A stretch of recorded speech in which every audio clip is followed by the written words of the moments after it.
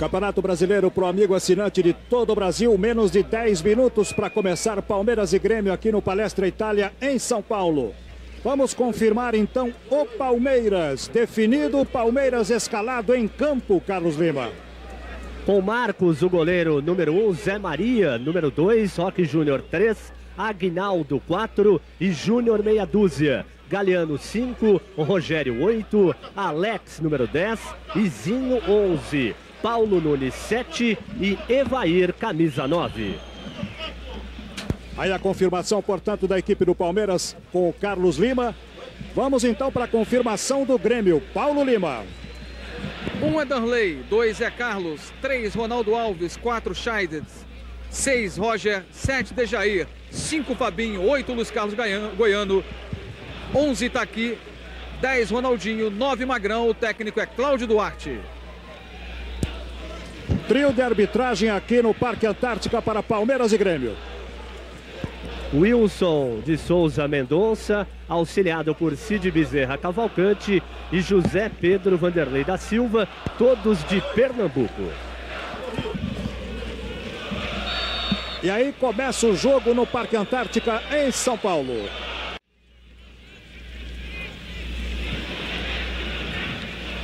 Boa jogada do Alex. O Wilson de Souza Mendonça está marcando esta falta. Reclamam ali os jogadores do Grêmio. Está no chão o Alex. Vamos ver o lance. Você percebe que o jogador do Grêmio toca na bola, o de Jair, né? Ele vem por trás, toca na bola. O Wilson de Souza Mendonça deve ter interpretado que ele empurrou com a mão esquerda, que foi a única coisa que a gente poderia ali defender o árbitro. Aí as faltas, o Grêmio já cometeu 11. Para cobrança também o Rogério, o lance é bom para o Palmeiras, preocupação agora para o Danley. 0 a 0 aqui, primeiro tempo no Parque Antártica. Já está autorizado o time do Palmeiras. O problema é lá na barreira, né? Olha o Alex, direto! Gol!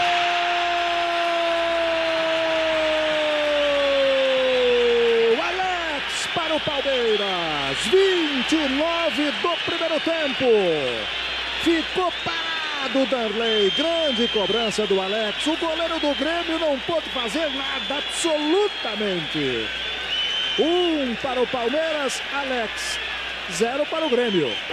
O Alex e o, Eva, e o Rogério estavam ali observando para ver em que posição, em qual era a reação do, do Darley no momento de se posicionar ali. Só que ele se juntou muito à trave direita e se fixou no chão. Se ele desse um, dois passinhos para esquerda, talvez pudesse enganar o time do Palmeiras e o Rogério pudesse ter feito a cobrança. Mas como não o fez, o Alex falou, não, então eu vou colocar no canto esquerdo do, do Darley e vou acertar o gol. Se ele pegar, mérito para ele. Tenta dar o troco o Grêmio, chegou Zé Maria para tirar dali. Não. Terceiro gol do Alex no campeonato, vigésimo segundo do Palmeiras. E área vão dando. Scheid e o Ronaldo Alves fixos lá na área e o Palmeiras tentando chegar desde fora. Foi assim que cavou a falta, inclusive, do gol que a falta que originou o gol do Alex, o gol da partida até agora.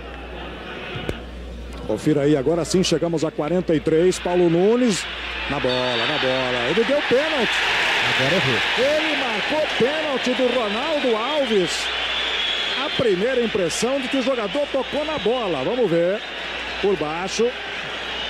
Lance limpo, normal, não foi pênalti não, Daniel. Agora errou. Ele, o Wilson Souza Mendonça tem erros de interpretação gravíssimos. Esse foi um erro grave de interpretação, como havia sido aquele do impedimento marcado do Paulo Nunes quando a bola foi recuada pelo Scheid.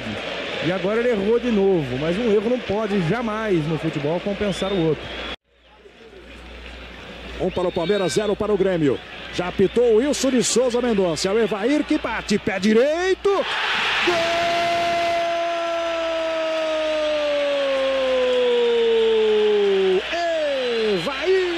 Para o Palmeiras. 44 do primeiro tempo.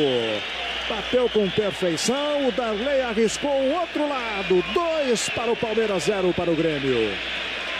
O Evair é daqueles jogadores que não permitem muito, muito o goleiro pensar. Tem que escolher o canto porque quando ele bate, ele bate muito rente. Olha só, a bola passou muito rente à trave.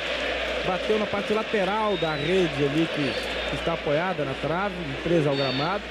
E se ele espera a cobrança para tentar chegar na bola, ele também muito provavelmente não chegaria. Por isso, mérito para o Evair, que é praticamente perfeito na cobrança de pênalti. Sexto gol dele no campeonato, 23 terceiro do Palmeiras, Jorge.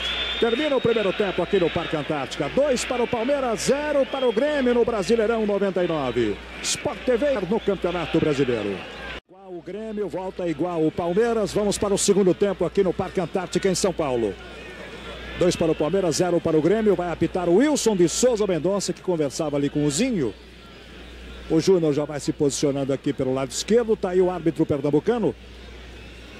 Vai começar o segundo tempo. 15 rodada no Campeonato Brasileiro 99. Pro amigo assinante. Autorizando o Wilson de Souza Mendonça. Começa o segundo tempo aqui no Parque Antártica. Posse de bola para o Palmeiras lá com Zé Maria. Tirou lá de trás o Roger. Essa bola vai ficar ali para o Alex. Ele que fez o primeiro gol da partida. Chegou para o desarme ali o Chaito. De Jair também estava no lance. Marca a falta o árbitro e agora o primeiro cartão do jogo. Cartão para o Chaito. camisa número 4, Jota. Tá Ele que voltou da seleção brasileira machucado, sentindo dores musculares. Teve até ameaçado a sua escalação, mas está confirmado e joga. E nesse momento também o Ronaldo Alves, número 3, está sendo advertido pelo árbitro da partida. É, vamos ver se o Wilson de Souza Mendonça não faz aquilo que alguns árbitros fazem. No primeiro tempo, segura, não mostra maneira, conversa, pede calma, gesticula e volta para o segundo tempo com uma fome de cartões. Vamos ver. Ele logo mostrou agora com um minuto, menos de um minuto, cartão para o Chay. Aí o cartão confirmado para o camisa 4 da equipe do Grêmio. A falta é boa para o time do Palmeiras. Alex e Rogério para bater. O Zinho está mais atrás. Confira aí o primeiro minuto do segundo tempo. O time do Palmeiras já está autorizado. Precisa dizer que lá na barreira um empurra o outro. Gol!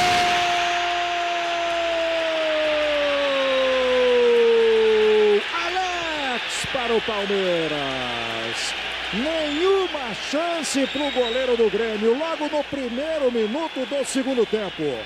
Que belíssima cobrança do Alex. O Palmeiras faz 3 a 0 no Grêmio. Praticamente uma disputa de pênaltis entre o Alex e o Darley. No primeiro tempo, o primeiro gol do Palmeiras foi no canto esquerdo do, do Darley, que agora colocou a barreira do outro lado, foi proteger a trave esquerda e o Alex não teve dúvida. Colocou por cima da barreira, por cima do Darley, acertou um belíssimo chute no ângulo direito do goleiro do Grêmio. E tá aí o Alex que volta em grande estilo ao time do Palmeiras. Quarto gol do Alex no campeonato, 24 do Palmeiras. Jair e Fabinho encostam na defesa e embola tudo ali no meio da área, todo mundo marcando só o Evair, às vezes também o Paulo Nunes, que sai muito bem da área e não traz com ele a defesa do Grêmio. Com, isso fica muito fácil do Palmeiras tocar a bola, Léo. Olha o Júnior, bateu pro gol! Gol!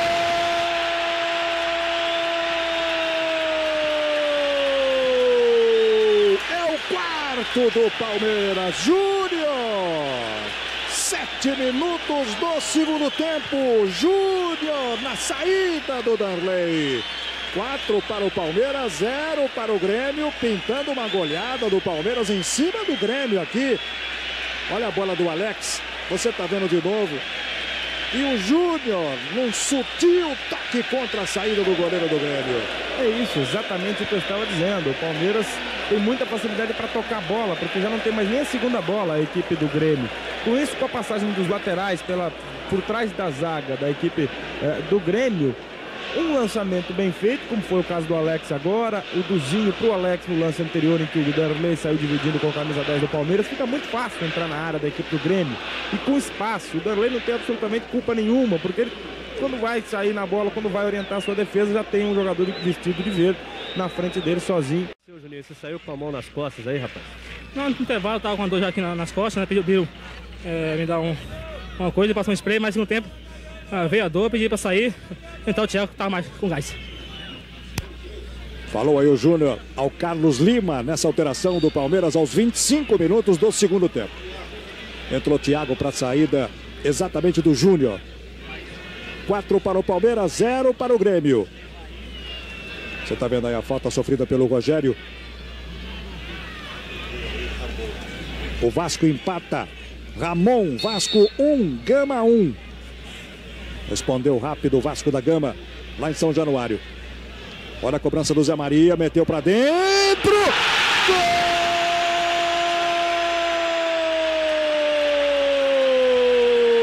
Zé Maria! 26 minutos direto para a área, direto para o gol. Quando o Darley percebeu, não dava mais. 5 para o Palmeiras, 0 para o Grêmio. Você vê de novo aí, ó. Quarto gol de bola parada do Palmeiras. Nesta, eu acho que o Danley teve, teve culpa. Ele não tem nada que tá ali. Ele tem que cobrir o, a segunda trave. Um jogador cobre a primeira, o outro fica no meio, além da dupla de zaga proteger os cabeceadores do Palmeiras. Outro erro do Darley no jogo. E agora o Zé Maria se deu muito bem nesta cobrança. Fez até um belo gol, viu, Jota? Daniel, a gente poderia definir esta goleada aqui. Vamos ver o Palmeiras, porque o Jackson está chegando. Tocou para o Edmilson. Chegou, saiu da marcação.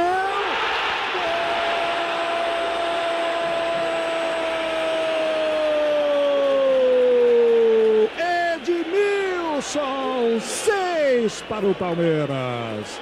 Zero para o Grêmio numa saída rápida do time do Palmeiras. E o Edmilson faz o sexto gol do Palmeiras.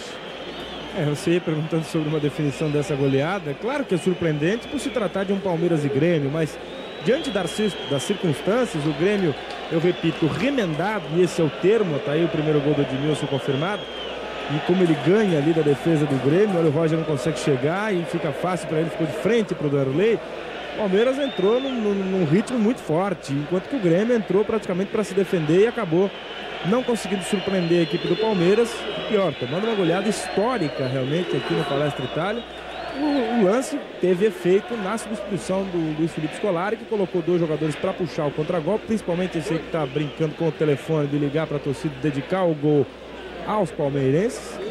Ele puxou bem o contragolpe, deu a opção de passe para o Jackson, se livrou do Roger e acabou fazendo um belo gol aqui no Palestra Itália. Eu acho que esse gol deve selar a goleada do Palmeiras. Será que vem mais, ó? Claro, da comissão técnica, chegada agora do Cláudio Duarte, a diretoria. Tá complicada a vida do Grêmio, termina o jogo.